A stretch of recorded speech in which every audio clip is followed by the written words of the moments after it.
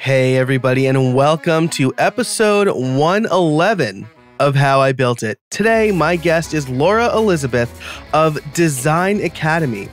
I love Laura's story so much. I met her at CaboPress, and her uh, talk that she hosted was about kind of improving design and UX and things like that, but not in the normal ways you would think, like make things look prettier or whatever.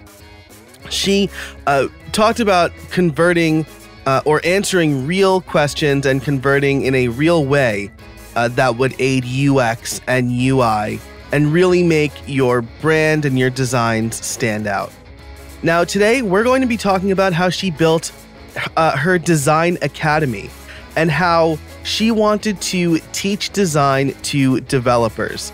As a developer myself, I know that is a daunting task, and she does it very well. From her journey of research to actually launching the course to a ready and raring to go audience, I think this is a fantastic episode for anybody who wants to build an online course. I certainly learned a lot and I started to put some of this stuff into practice, and I hope you learn a lot too. So, uh, we will get to all of that and more, but first, a word from our sponsors. This episode is brought to you by Plesk. Do you spend too much time doing server admin work and not enough time building websites?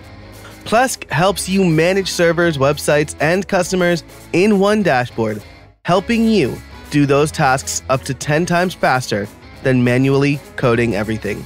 And let me tell you, I recently checked out their new and improved WordPress toolkit, and I was super impressed by how easy it was to spin up new WordPress sites, clone sites, and even manage multiple updates to themes and plugins. With the click of one button, I was able to update all of my WordPress sites. I was, again, incredibly impressed by how great their WordPress toolkit is. You can learn more and try Plesk for free at plesk.com slash build. That's plesk.com slash build. Hey, everybody, and welcome to another episode of How I Built It, the podcast that asked, How did you build that? Today, my guest is Laura Elizabeth, founder and things doer of Client Portal and Design Academy. Laura, how are you today? I'm pretty well. How are you? I am fantastic. Uh, I appreciate you coming on the show. Uh, Laura and I met at CaboPress. This is uh, one of the, I guess it's going to be an interview series because I have four or five people from CaboPress that I'm interviewing. Uh, and Laura talked about kind of good design as part of, uh, well, maybe you can actually, maybe why don't we, instead of me trying to butcher what you talked about, why don't you tell us a little bit about who you are and what you do? Yeah, so I, I have a couple of things. So the first thing I do is I teach design to developers. And the second thing I do is I have a WordPress plugin called Client Portal, um, which is a place for freelancers and agencies to store their deliverables. But, you know, like you said, we met at CaboPress. And at CaboPress, I was talking about um, design. So I love talking about design, teaching design to people, whether it's developers or founders. Um, and I, we were just talking a lot about how um, design can help increase customer engagement and all that kind of stuff. So yeah, it was it was pretty fun. It was an amazing event. Yeah, it was great, and I really enjoyed uh, your talk. And I um just uh, I think there was a lot of good things to think about that I think you probably touch on uh, as we start talking about both Client Portal and Design Academy. And so I'd like to focus on uh, Design Academy a bit because I love talking about online courses and design and very selfishly uh, I think I'll be able to get a lot of good information from you. But uh, I I do want to start with uh, your WordPress plugin called Client Portal, um, and I'm really interested of kind of from a design aspect because I am a developer and I generally take a very uh, maybe function over form approach, but I know that there's uh, as you talked about uh, at Cabo, um, a lot of things that go into creating good design and kind of guiding the user along the right path. Is that right? Yeah, exactly. Yeah. So with with Client Portal, it's it, it's a really simple tool and it's something that I made for myself to use with my clients. Um, I used project management software before, and my problem with that was that it was all super complex, had a huge learning curve, and frankly, clients didn't use it and it was expensive. And I realized that I actually just wanted something really simple, um, kind of no frills, but really nicely designed because design was important to me as a as a designer and I felt like everything I needed I gave to my clients had to be nicely designed throughout the process because I felt like they were expecting it. Um, so I made Client Portal um, just a very simple place to keep all your assets together. So it's kind of it, it's branded to your website, um, and the design was actually is really simple. So it fits in with pretty much any website and it doesn't look like you're using a third party tool. But you can kind of keep all your third party tools that you're using and link out to it from this um, central place. So yeah, the design was the design was super important just to me to use with my clients. And then when I ended up selling it to other freelancers and agencies, that was actually one of the main things that people comment on and the reason that they buy client portal versus something more complex because because they say you know client portal makes me look good because client portal looks good. And when you're working with a client and their first impression of you and your project, or maybe not quite your first impression, but the first impression when the project's actually started, when you've sold the, the product, um, is this be, being presented with this custom unique dashboard where everything lives. It just gives them a really good feeling. Um, and that sets the tone for the entire project that you're a professional that this is going to be great. Um, and it kind of sounds a little bit trife in a way um, but i think the people do care about design and they do like when something is nicely designed. And so yeah that was the, it's one of the interesting things being a designer turned, I guess, product creator mm-hmm. is that design is such a huge thing in everything I do. And it's partly because I feel the pressure as a designer to make everything look good. Um, but there's been a ton of benefits um, along the way for doing, for prioritizing that. Yeah, absolutely. And I mean, talking about client portal specifically, I mean, getting stuff from your client can be um, a, let's say, a job unto it, you know, unto itself. And if you use something complicated, uh, they're going to be less likely to want to kind of use that tool. So, uh, simplicity in its design and making it very intuitive is, is incredibly important for the entire process.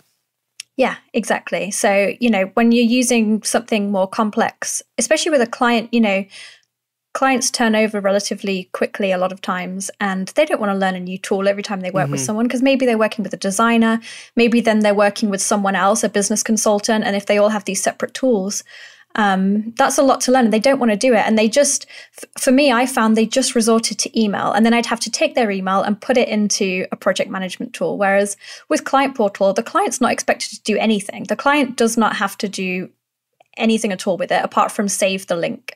Um, and they just log into it and they can find all their files, everything they need um, right there. Um, and even after the project's completed, um, I always had this issue of clients would email me like six months after a project had finished, being like, hey, I lost that logo that you did for me. Can you send it again? And it was super frustrating because maybe I'd store them on like external hard drives and I wouldn't have it on my computer and I'd have to dig it out. And it was just really annoying that I felt like clients couldn't keep hold of the stuff that I sent them. Um, and it was just taking up a bunch of time. So, um, Client Portal also helps with that. And it's another reason um, that I made it. Great. I just this morning had that very issue, like finding client related information. And I had to like dig through email, and that ate up a bunch of my time, right? And yeah. So this sucks. is yeah, it's awful. Um, and the the converse is you say what project management tool do you like to use? And if they like to use one then you have to learn that one right? So this is a nice uh, a nice middle ground. It's easy to use for everybody. And uh, yeah I, I really like that. And so part of the reason i wanted to talk a little bit about this is because it gives us some groundwork to design academy right? Where you mentioned that you teach design to developers as a developer myself, I already know the answer to this, but why is it important for developers to know design? So, you know, developers, I, so the reason I teach developers specifically is because I during my freelancing work, my favorite clients were always developers. If I could just work me as a designer and with a developer, the project was amazing because they got what I was doing, I got what they were doing. We both had mutual appreciation of each other's craft, and we didn't have the client in the middle, you know, screwing things up. So I loved working with developers. Um, but one of the the problems that they had when I would speak to them is they had all these amazing ideas for different products and tools that they wanted to build. Um, because, I mean, you might be able to relate to this, but it seems like developers just always like making things. Just that's just what they love to do. Um, yeah. But the problem that they had was, you know, they wanted to make something. They wanted it to look decent because everyone else was making things that looked good. They wanted to be able to do the same thing, but they couldn't necessarily hire a designer to work on it with them because maybe it was going to be something that was open source or maybe it was something that they didn't actually know whether people would pay money for yet and they just and they just wanted to validate it a little bit.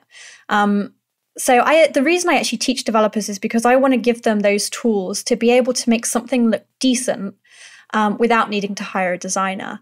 Um, that said I, I don't think developers have to learn design. Um, I think there's a lot of pressure on developers to be good at everything. You know, all these mm-hmm. new frameworks and everything that come out, it's overwhelming. And I know that sometimes it can feel like it's just too much. So I don't think they have to.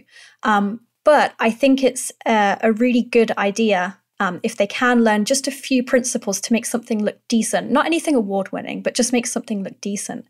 Because the thing about design is that those skills that you have once you've learned those principles, you keep them forever. You know it's not like a it's not like a, a, framework or a new tool where there's something else out in a month and you have to relearn it. It's just something that something that they can learn now that's going to give them really lasting benefits. So i would say that it's really beneficial for developers to learn design um, but i wouldn't say that they absolutely have to learn. Yeah i think that makes a lot of sense. I kind of feel the same way moving from developer to designer. You know, there's the question of do designers need to know HTML and CSS? And uh, no, I don't. I don't think so. Uh, and in some ways, I think maybe that could inhibit what the designer is thinking. Right? If they know the limitations of HTML and CSS, maybe their designs won't will will maybe show those limitations. But yeah. um, so but I do like this this thought. Right? I want them to make something look decent and uh, and it's it's it's hard to uh, hire a designer, right? But then on on the other side, uh, when they get to a point where they are ready to hire a designer, maybe they hire you, and now you're both speaking the same language, right? Uh, yeah. I'm not just saying make it pop or whatever you know, whatever designers hate to hear. I would hate to hear that one. So, yeah, it it make it does make it a lot easier when you come to hire a designer, and also it it's has that kind of I think most developers that I speak to, they they want to get into um, products in some way. So you know they want to be able to design to make something look decent, and then when they get enough uh, revenue behind them, they want to be able to hire a designer to maybe do some branding and figure out you know how this is all going to fit together. Um, but then on top of that, the knowledge that they've learned back in their early days on design when they need to add a new feature or when they need to tweak something, which is going to happen all the time. Unless you've got a full time designer working for you or a team, um, you're going to need to know how to do that. So, yeah, it's really good. It, the skills are really good when you're working with a designer because you have a bit more of an appreciation for what they're doing. But they're also going to help you after when you, um, you know, need to change things and you don't want to completely wreck the design. And, and I find it, you know, you were talking about how designers need to learn, or designers don't necessarily need to learn um, HTML and CSS. Um, it's completely true. But if they if they know a little bit, it's definitely going to help them. But they don't they don't need to. So it's it's yeah it's it's one of those. It's a really it's a really difficult balance. So um, yeah, it's useful in pretty much all aspects. Yeah, absolutely. And and one more point on this before we kind of get into the research of Design Academy and how you kind of built the platform and how you marketed it uh, is when I was doing full time web design development, right? One of the things that I would do is convert PSDs to working websites. And I know that there were a few very design oriented uh, web developers I worked with who would kind of notice if like font typography was off just by a little bit. I absolutely did not notice that until I kind of got more mature in the design side of things. Like they're like, this is off. And I'm like, how how do you no one notices that? But they spent a lot of time on that design yeah. to make sure it looks good. That so, is so true. Yeah. The more yeah. the more you learn about design and I find it especially with things like typography, the more you know about it, the more you notice when things that you didn't you never noticed before. Um, and it's one of those things that you could you could argue that well, unless it's going to be just designers looking at my product, who really cares?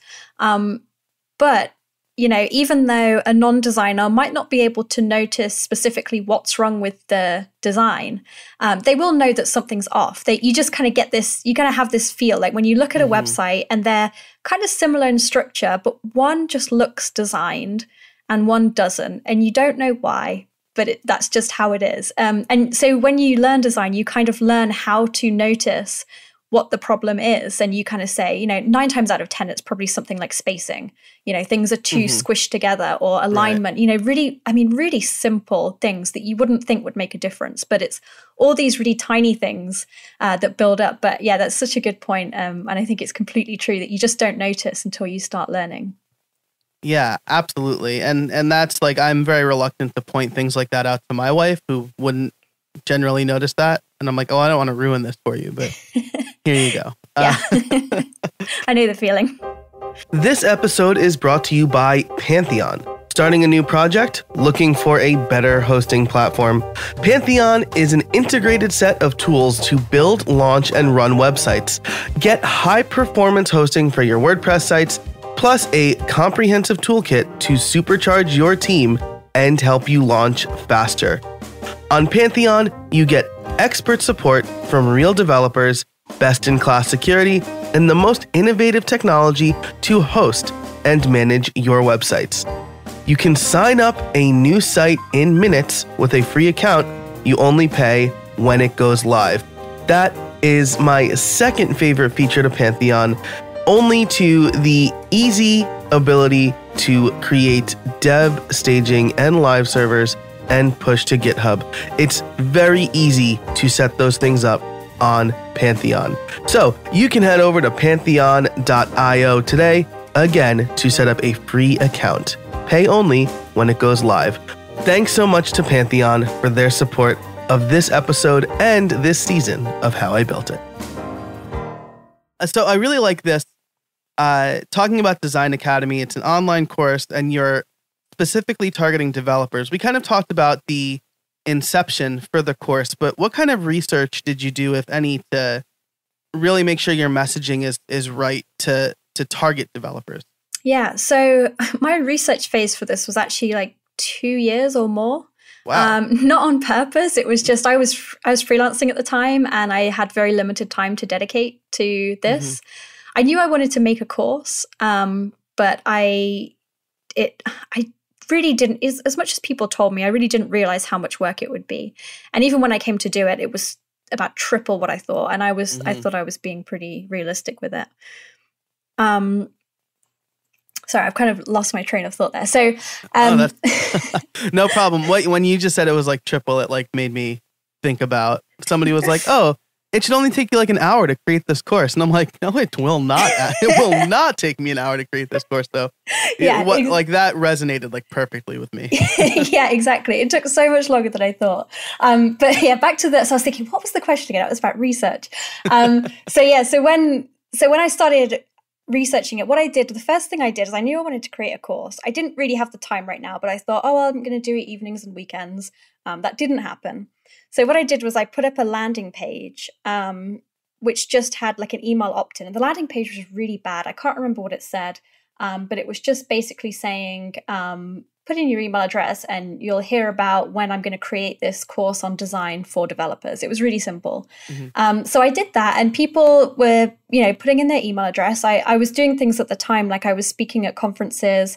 Um, I was, you know, going on a few podcasts. I was doing a lot of guest posting because I wanted to get into writing. So I knew that building my audience, I, I, knew I wanted to get from freelancing to products. And I knew that to get there, I needed an audience.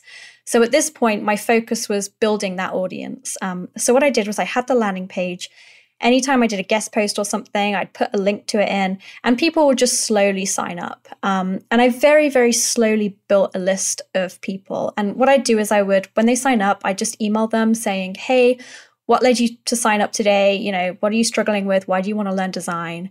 And they'd reply back to me. And I would collate every single answer that they gave me and I'd put it into a spreadsheet, which I'm still keeping up to date today. It's absolutely humongous, um, where I'd have headings like um, with their different struggles at the top, and then I'd actually paste in exactly what they were telling me um, underneath. And just over time, I was just I'd reply to them. My list was small, so I could actually have conversations with them. I'd find out what they needed, find out what they wanted it to be, and it just gave me a really good idea of um, what Design Academy was going to be. So, yeah, like I say, my research phase was like two years, it wasn't intentional. Um, I finally got to the stage where I, where I, I actually had someone email in being like, look, I really appreciate all the valuable content you're sending out, but can you just release like something, some paid course? Please.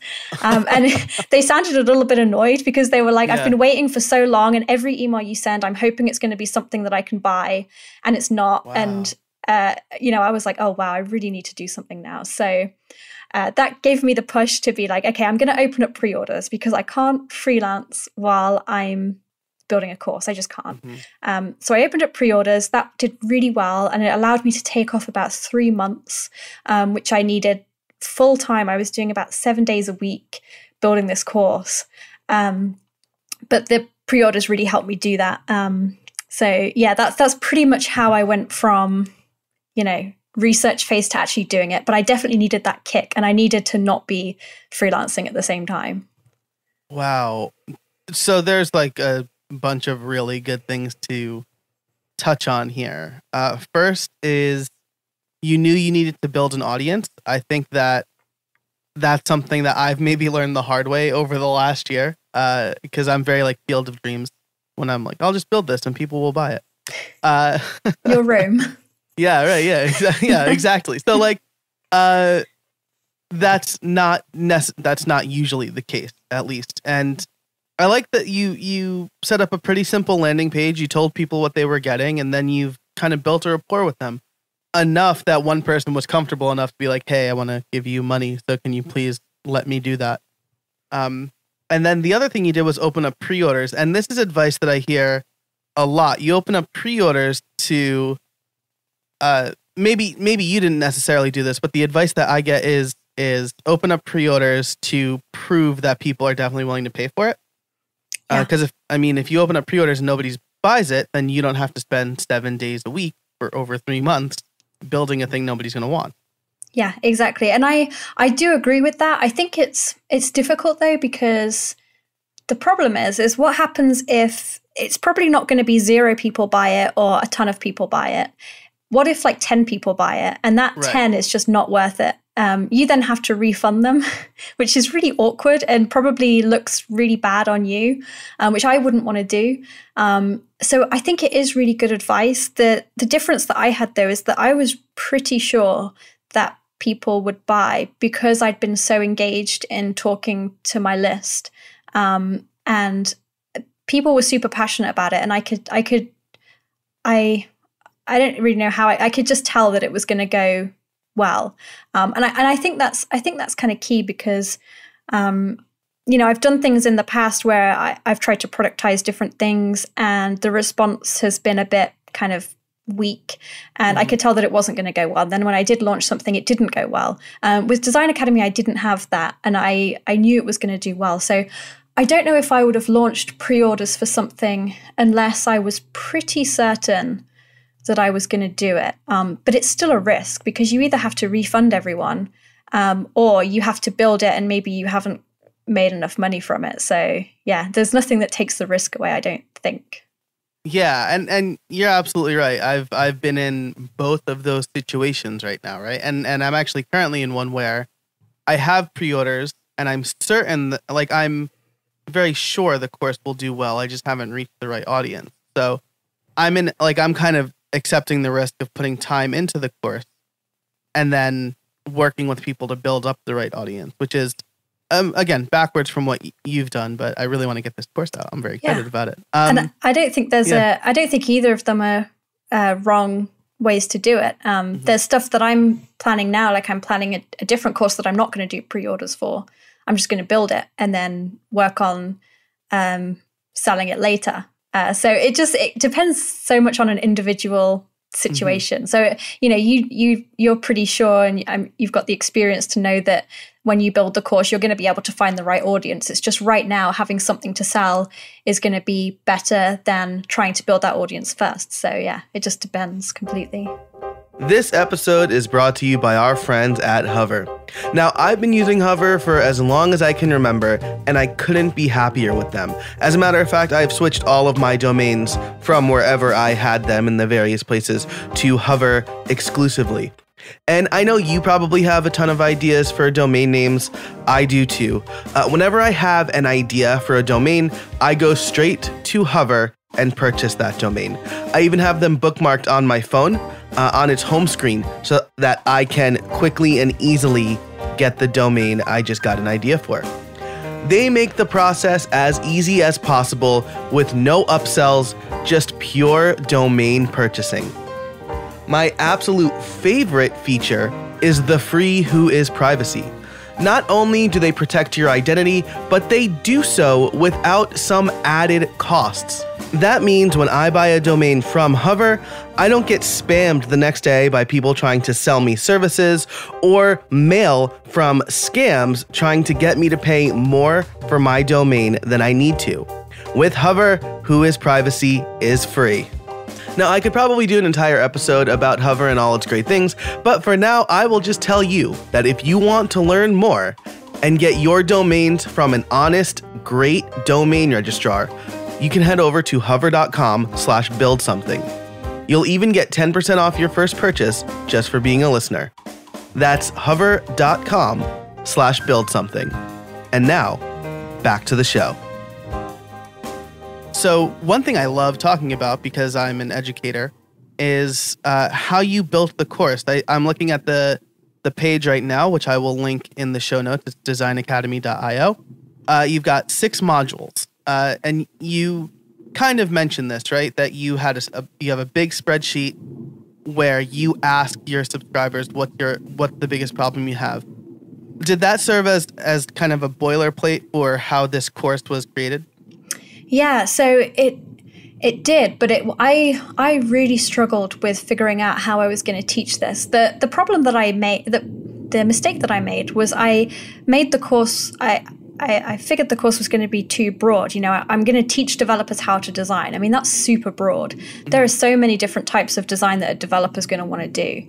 Um, some of them, so I found in my um, responses from the spreadsheet, some of them were working in house at a company and they wanted to know how to um, build features that were on brand and looked really good. Um, other people were in e commerce and they wanted to know how to make their e commerce websites look better and convert better. Some people were doing a SaaS, some people were doing their own products and they wanted to know how to design and build a web app you know mm-hmm. um, there was just so many different avenues and i went it took me so long to figure out how i'm going to teach this and i realized that i was it it's impossible to do all of that in one course. Um, so what i did was I, I completely stripped all that out and i thought okay what does every one of these different people need to know to give them the basics to be able to you know take what they're doing and take it further? Um, so you know the the initial course outline was just um, it was based on the feedback, but it was it was kind of based on these different personas, and I was trying not to go too far in one direction, but just to give everyone um, the principles. And you know what I'm actually doing with Design Academy now is I have that baseline course where you learn, you know, you learn about how to choose and pair colors, you learn how to um, look at a design and see what's wrong with it, like we were talking about earlier. You learn about typography, all that stuff that everyone needs to know. Um, but what's going to happen now is that um, I'm currently building a bunch of different tracks for it. So we've got the web app track, then we'll have the e-commerce track and the the SaaS app track, uh, the training website track, and all these different add-ons that you can then. It's, it's kind of like build your own design course based on what yeah. you want to learn, um, and that really helped. And and once I realized that okay, I don't need to I don't need to teach everyone everything in this mm-hmm. course, it became a lot easier for me to put together a syllabus because I was just treading water, trying to figure out what to do for such a long time. And I, and I guess, you know, what I'm trying to say is for me, uh, niching the course, I suppose. I don't know if that's the right word, but really focusing the course um, helped me build it.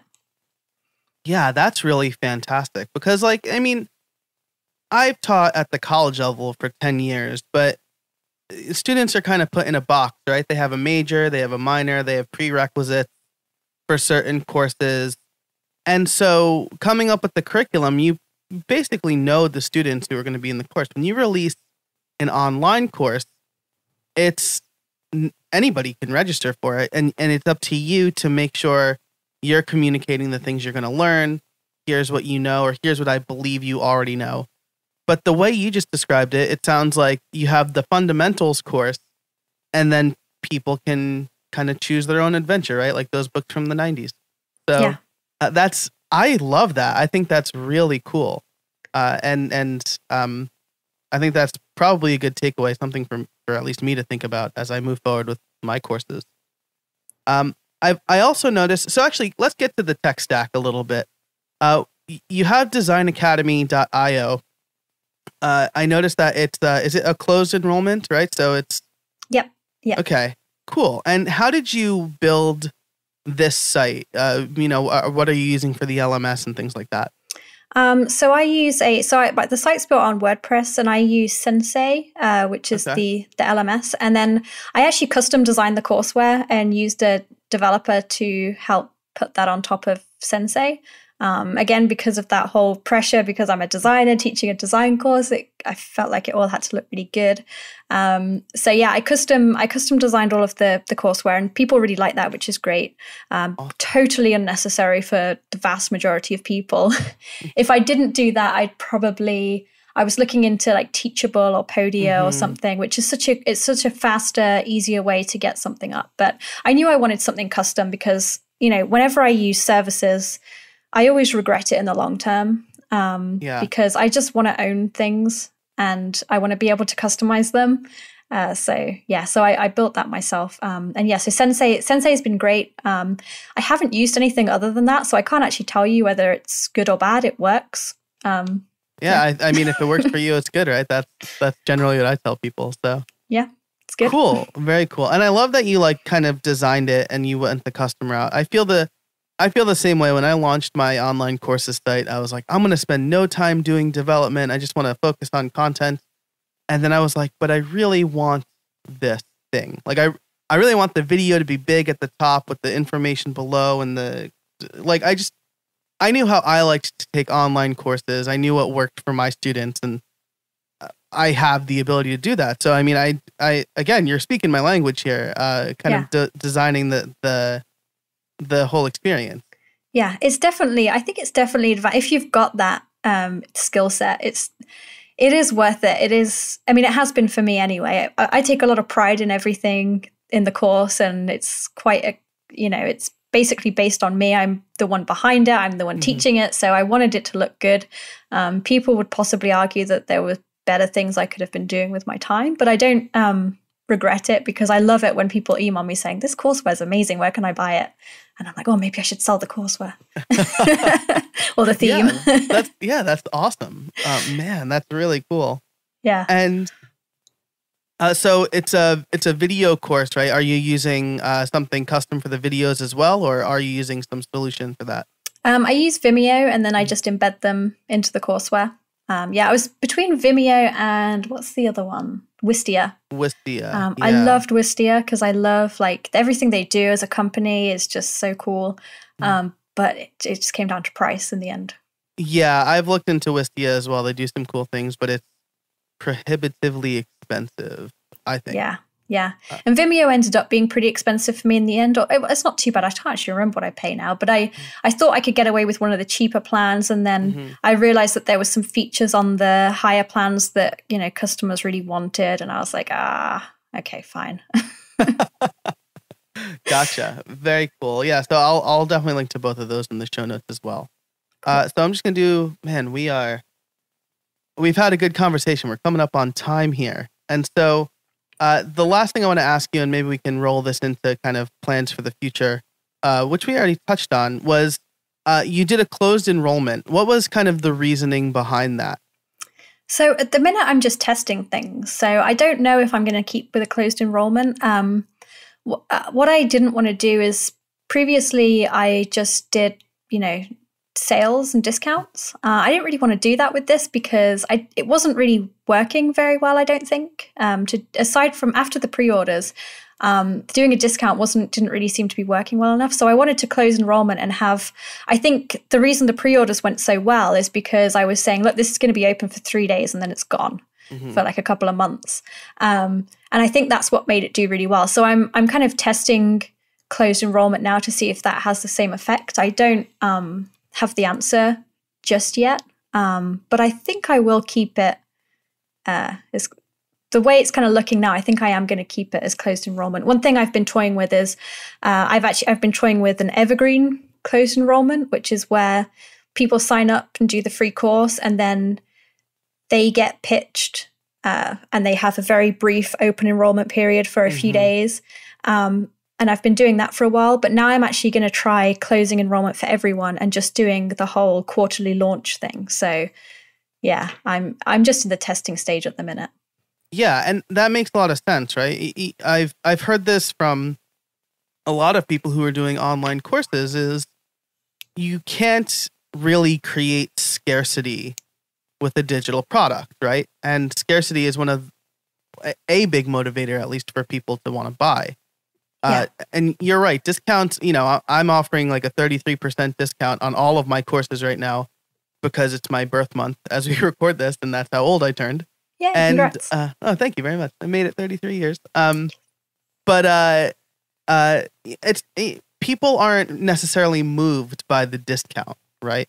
Yeah. Uh, there, so there's something else you got you have to do, and I've heard a lot of great success with the closed enrollment. So yeah, um, I think I'm going to keep it up. The downside to what I've been doing is, like I said, I've been doing the evergreen one, um, which I don't, I don't know if I really like. It's very easy for me, mm-hmm. um, but I think I want to switch to, like I say, the quarterly launches thing because I really like the idea of being able to do things like web live webinars mm-hmm. and stuff like that, and you know have a large group of people. What was really cool about my pre-orders is I had a large group of people all join straight away, and they join um, this Facebook group, and they all kind of came in at the same time, said hey. They were all working through the stuff at the same time, and I don't know if you saw. Um, was it Jennifer's talk at yeah, CaboPress Bourne, on yeah. online courses? Um, and she was kind of saying that she does the whole everyone goes through at the same time, and uh, yeah, I'm thinking of I'm thinking of moving to that because it seems you know it's got the it's got the scarcity, uh, but it doesn't feel as sleazy because yeah. you know there is a really good reason as to why enrollment is closed. It's not just because you're trying to make more sales; it's actually going to benefit the students too. Yeah, it's almost like a college semester, right? Where a class enrolls at the same time, and then they have they have your undivided attention almost. Yeah, exactly. And you can answer questions, and everyone's going can help each other, and yeah, it's right. a lot. And right, instead of just kind of focusing on constantly selling, I think uh, these are words that you didn't say explicitly, but I like. You're selling me on this model right now as we talk. cool. well, I uh, will uh, let you know how it goes. yeah, absolutely. And uh, for those interested, I did interview Jennifer Bourne on the show, so I will link her episode in the show notes, and and you can kind of get the full effect of what she talked about. Um, so man, this episode has been great. Uh, Laura, I do want to ask you my favorite question, which is do you have any trade secrets for us? See, I don't know. I've been thinking about this for a long time and I don't know. I don't know if I really do. The only the only thing I could really think of is um, one thing that's really helped me is I try to build in the open a lot. Um, by it's really hard to do if you don't like self promoting. Um, but post, you know, everything that you're doing. Um, if you're trying to sell like an online course, I definitely don't do this enough. But post everything you do. Like if I'm if I'm designing something, even if it's not to do with my design course, you know, post it on Twitter or Facebook because I've had some fantastic partnerships come from something I posted on Twitter that I thought nobody would see. Um, and it's been one of those things that you know where you say, you know, a lot a lot of thing is is based on luck, but then you know you can increase your look surface area. I'm not sure who said that by doing stuff like this. It feels pointless, but it kind of works sometimes. So I don't know if that's really a secret though, to be honest. Oh, I I like that a lot though. I mean, that's that's part of the reason this podcast exists, right? Is because I was asking people these questions and I was like, maybe other people will benefit. And so now we're having this conversation in the open. So I think that's a really good trade secret and social media has enabled it enabled us to do this, right? Maybe the next yeah. time you're editing or something, you can just like have your Instagram story going and just talk about what you're doing. I think that would be really cool. So yeah. awesome. Well, Laura, thanks so much for joining me today. I really appreciate it. Where can people find you? Yeah, so you can you can if you want to find out more about Design Academy, you can go to designacademy.io. Um, if you want to find out about Client Portal, you can go to client-portal.io. Uh, don't put hyphens in domain names, by the way. I regret that so much. um, and then if you want to if you want to say hi, you can. Um, best place to get me is Twitter. It's at Laurium, so L A U R I U M. Um, or you can email me. My email address is on those two websites that I just showed you. So Perfect. I will link uh, all that and everything that we talked about in the show notes. Uh, Laura, thanks so much for joining me. I really appreciate it. Thank you. Thanks again so much to Laura for joining me today. Again, I, I learned so much uh, from this interview. I loved everything she said about, uh, you know, doing things like designing in the open and um, ne- the need to build an audience if you want to go from freelancing to products. That's a lesson that I learned the hard way. I wish I had that advice two years ago. Um, and so I hope that as you think about building a course, uh, you take her advice to heart. Uh, my question of the week for you is Do you plan on building an online course? And if so, what's it about? Let me know via email, joe at howibuilt.it, or on Twitter at jcasabona. For all of the show notes, you can head over to howibuilt.it slash 111. If you liked this episode, feel free to give it a rating and review on Apple Podcasts. It really helps people discover the show. And until next time, get out there and build something.